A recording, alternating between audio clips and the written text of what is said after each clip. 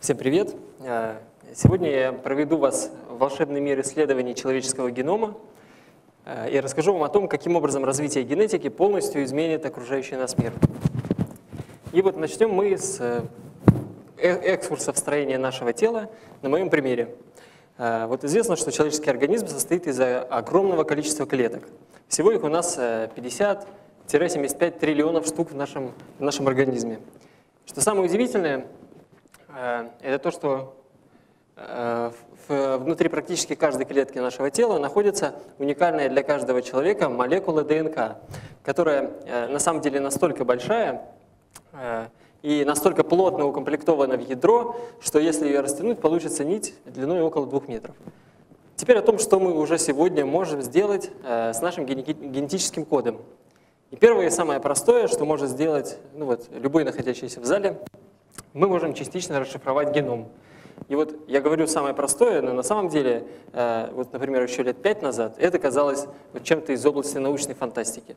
Сегодня, э, имея 200 долларов, вы получаете на почту э, пустую пробирку, в которую необходимо плюнуть и отправить ее обратно в лабораторию.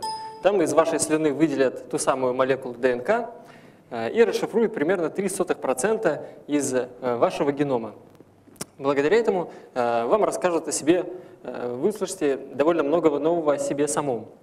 Прежде всего узнаете о вашей предрасположенности к болезням, э, вы узнаете, откуда произошли ваши родственники, ну и множество там, просто таких личных характеристик вашего организма, как, например, его способность усваивать алкоголь в пятницу вечером, ну, вот, к примеру. Понятно, что просмотреть геном человека полностью было бы а, интереснее и, наверное, полезнее. А, но этого не делалось. Единственная причина, почему, заключалась в цене. Вот несмотря на то, что цена на расшифровку полного генома за последние 8 лет упала с 3 миллиардов долларов до 10 тысяч, тем не менее 10 тысяч долларов это не то, что ну вот, большинство из нас э, может себе позволить за такую услугу. И совсем недавно компания Life Technologies – объявила о выпуске секвенатора нового типа, который позволяет целиком расшифровать человеческий геном всего за тысячу долларов и э, всего за день. Это невероятно. Вот э, еще совсем недавно мир только жил в ожидании, когда же это событие наступит, называя его камнем преткновения в развитии генетики вообще в мире. И вот оно, и вот оно случилось, совершенно неожиданно. Э, параллельно с развитием, с развитием технологии э, расшифровки генома э, возникает широкий спектр, где можно применить результаты э, исследования человеческого ДНК. И вот с довольно остроумной мыслью на рынок вышла швейцарская компания Gene Partner. Они, они сказали простую идею. А давайте э, подбирать человеку пару, основываясь на его генетическом коде. И вот вся работа компании основывается на довольно известном эксперименте, когда э, несколько сотен мужчин и женщин попросили принять участие в опыте, и всем мужчинам раздали э, каждому свою футболку, которую они должны были носить в течение трех дней и не снимать. После этого вот всю эту груду грязного белья э, собрали и отдали несчастным женщинам и попросили их оценить, ну, насколько приятен или неприятен им тот или иной э, запах. Вот. При этом и мужчины, и женщины были разделены на группы в зависимости от наличия у них э, специфического комплекса антигенов, который в том числе связан с работой иммунной системы. И таким образом компания определила э, пары ну, вот, на генетической основе, которые наиболее э, успешно сочетаются друг с другом. Вообще применение таких социальных систем, основанных не только на генетических данных, но и на медицинских данных, оно становится все более популярным. Вот недавно вышедшая на рынок социальная сеть Patients Like Me тоже заявила простую идею. Давайте объединим людей в группы, основываясь на, их, на тех заболеваниях, которые у них есть, и просто дадим им возможность друг с другом общаться. И вот мало того, что э, эта идея стала чрезвычайно популярной и социальная сеть очень быстро выросла, э, она, э, ее создание привело к э, некому, некой смене парадигмы. Э, вот в прошлом году были опубликованы результаты клинических испытаний, которые были проведены самоорганизовавшейся группой пользователей этой социальной сети. При этом эти клинические испытания закончились раньше, чем официальные на год. И вот это совершенно невероятная вещь. То есть вот то, что еще вчера э, казалось прерогативой исключительно гигантов фарминдустрии, э, то, на что они тратили миллионы и миллиарды долларов для проведения дорогостоящих клинических испытаний, сегодня можно сделать просто группу людей, которая по собственному желанию решила самоорганизоваться и провести такие вот исследования. Помимо э, инструментов э, чтения и использования генетической информации, на самом деле у нас уже сегодня есть инструментарий, каким образом влиять на гены. И самым ярким примером в этой области являются эксперименты по продлению жизни. В основном они проводятся на модельных животных, и самая значимая работа в этой отрасли – это работа Роберта Риса, который э, продлил жизнь нематоде, это небольшой червяк, в 10 раз. Это невероятная цифра. Вот червяк, который в норме живет 2-3 недели, после отключения работы всего одного гена H1 стал жить практически полгода. Особенно невероятным это кажется, после, э, зная то, что э, гомолог, то есть похожий ген, есть и в человеческом организме, что, в общем, вселяет у нас оптимизм. Э, на, этой, на этом пути довольно ярких и оптимистичных событий, связанных с развитием генетики, не могло обойтись без проблем. И вот первым тревожным звонком стала история, произошедшая с Пэмелой Финк.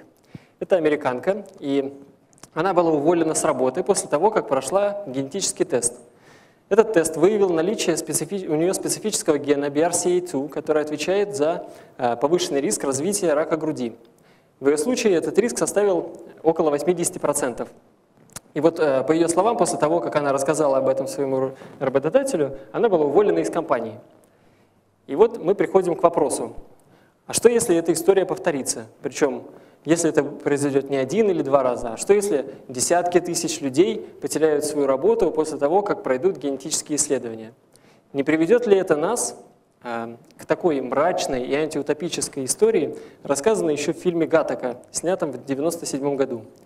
И вот я напомню, сюжет фильма заключается в том, э, что жизнь человека полностью определяется Э, тем генетическим кодом, который у него есть. То есть в самом, де... В самом раннем детстве человек сдает кровь для анализа, а после этого всю жизнь работает уборщиком, ну, к примеру. И что самое страшное, ничего не может с этим сделать. Вот такая мрачная и жуткая перспектива испугала не только меня и многих людей, посмотревших фильм, но и администрацию Белого дома Соединенных Штатов Америки. Именно по этой причине, э, ну, в том числе по этой причине, в 2006 году в Америке был подписан акт о запрете дискриминации на основе генетических данных. И такая законодательная инициатива – это прекрасно, но э, не будет ли ее мало, если мы говорим о ну, таком довольно значимом риске наступления столь негативного сценария, как тот, описанный э, в фильме Гаттека? К нашему счастью, есть еще ряд причин, Э, почему этот сценарий нереализуем в принципе? Э, главная причина носит биологический характер. Она заключается в том, что не только последовательность букв в нашем геноме определяет наше здоровье, наши способности и наше поведение. Очень важным является режим работы генов, так называемый уровень экспрессии генов. И что самое главное, уровень экспрессии генов может меняться с течением времени – более того, во многом он определяется множеством э, факторов внешней среды. Внешней среды. Множество факторов внешней среды. Э, это приводит к нас к простой мысли. Человек может меняться. Более того, человек может становиться лучше. Э, благодаря этому, вот зная, зная это, э, и благодаря этому факту, мы на самом деле придем к полярно противоположному будущему и сценарию будущего. Да, появятся новые виды социального взаимодействия. Но прежде всего люди будут, людям будет проще находить себе подобных. Обладая такой мощный инструмент, как результаты генетических тестов, мы сможем, ну вот, так же просто, как добавлять человека в Facebook, мы сможем э, добавляться в группу людей, которые любят путешествия, или людей э, со схожими рисками болезней, и просто искать людей, похожих на себя. Это будет сделать элементарно безусловно, изменится процедура трудоустройства. Но э, в отличие от э, ситуации, описанной в фильме Гаттека, когда работодатель ограничивает человека, заставляя его работать э, на определенной работе всю свою жизнь, мы получим совсем другой инструмент. Мы получим инструмент э, с помощью которого мы сможем подсказывать человеку, к чему он наиболее предрасположен. Э, поможем его найти его способности. И вот совсем недавно опубликованное исследование показало, что определенные варианции генов отвечают за успех торговли на бирже Уолл-стрит. Это один из примеров. Таких примеров будет все больше и больше. И э, мы неизбежно придем к тому, к тому, чтобы стимулировать и развивать таланты самого человека. Но здесь надо понимать, здесь нет ничего такого, что мы не могли бы сделать уже сегодня. Достаточно просто э, начать искать корреляции между моделями поведения человека, между его способностями и результатами генетических анализов, которые люди проходят все больше и больше и больше. И единственное, чего нам не хватает, это правильной организации того огромного количества биологических данных, которые сыплются буквально нам на голову. Это и результаты э, полногеномной расшифровки, э, которых будет все больше и больше с удешевлением стоимости этой процедуры. Это и оцифрованные медицинские истории. Это результаты анализов эпигенома, транскриптома, метаболома человека.